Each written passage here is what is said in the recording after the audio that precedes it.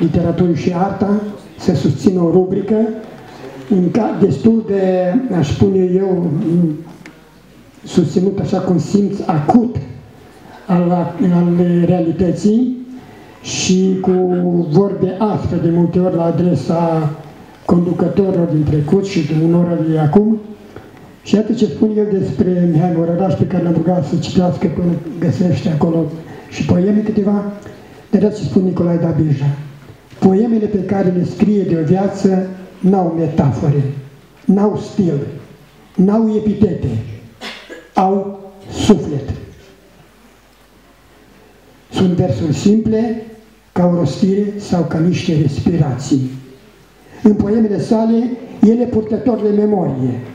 Acestea vor să atenționeze, să aducă aminte, să sugereze, să lege vremurile una de cealaltă. Fiu de Bucovină, strănepot de stejar din Codrii Cosminului, urmaș al străjerilor din țara de sus. Acest om de la munte lasă impresia unui exilat în câmpie.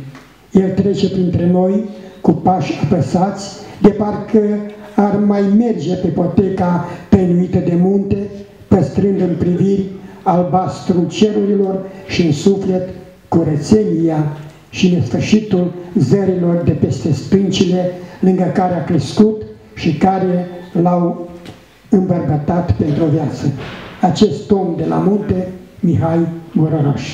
Ce cuvinte simple și frumoase și adevărate spuse despre prietenul nostru, invitatul nostru de onoare la această întâlnire.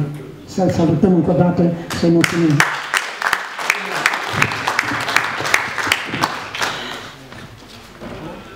Puțin, fraților, un pic mi-am reținut. Ne cerem iertare că ce să faci? Viața, viața și ale, ale ei și timpul ne apasă, timpul ne presează foarte mult. Așa, domnul Mircea. O tempora, Morris.